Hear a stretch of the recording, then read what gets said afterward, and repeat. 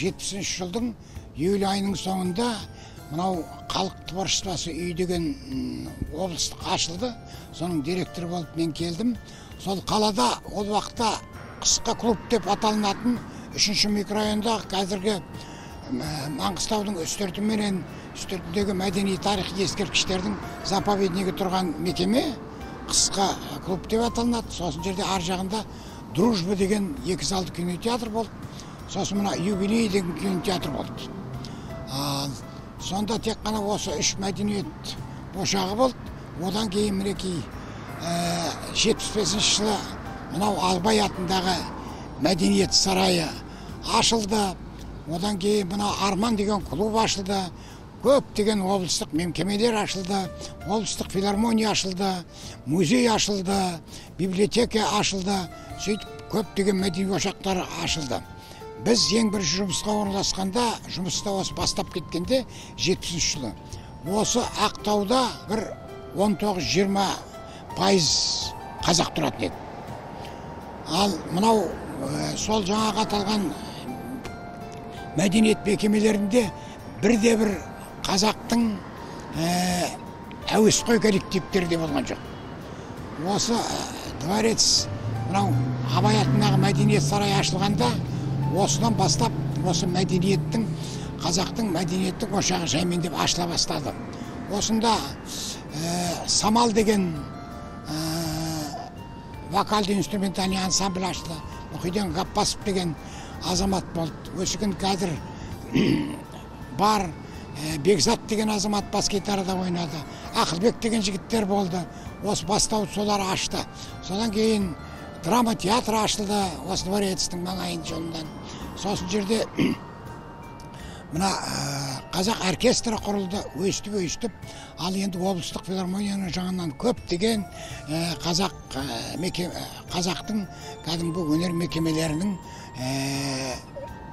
көптеп ашыла бастады. Қала мүлдем өзгерді. Қаланың болмысы өзгерді. Қаланың әдемілігі өзгерді.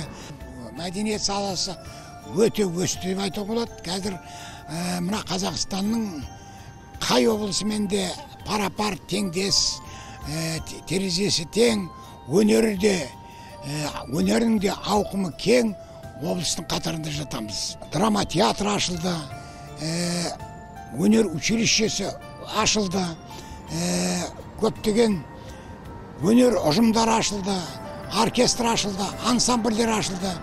Би топтар ашылды мынау жорға сияқты ал енді сонымен бірге көптеген облыстың аудандар мен қалаларында да көп өнер ұжымдары ашылды біздің маңғыстаудың мәдениеті тек қана осы қазақстан ғана емес таяу өзіміздің елдерде шетелдерде таяу шетелдерде алыс шетелдерде де мәдениетін осынау батыс еуропа америкаға дейін қытайда турцияда европада өнер көрсетіп кәдімгі қазақтың өнерінің бүткіл дүниежүзілік өнерден сай еместігін көрсетті.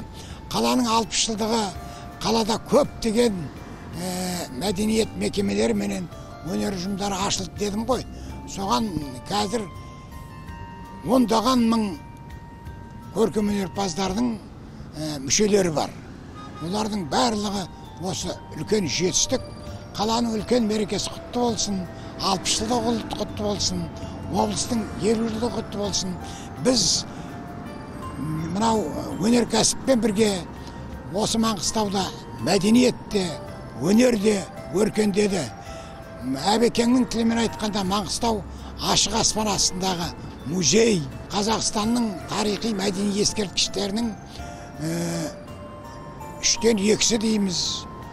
Жартысы дейміз сондай мына мәдени тарихи ескерткіштер осы маңғыстауда де үлкен жетістіктер көптеген мәдени тарихи ескерткіштер реставрациядан өтті осы алпыс жылдықта елу жылдықта осының барлығы мәдениет өнер қызметкерлерінің маңғыстау тұрғындарының еңбегі деп айтуға толық мүмкіндік бар бұл өзі қазақстанның маңдайына біткен жалғыз теңіздің жағасында орналасқан ақшаңқай аппақ ақ қала ақтау деген мұның болашағы зор ақтаудың талай аты шығады қазақтың өркендеуіне үлкен үлес қосатын үлкен қала болады деп ойлаймын әлде де үлкен қала болашағы үлкен зор үлкен табыс тілеймін қала тұрғындарына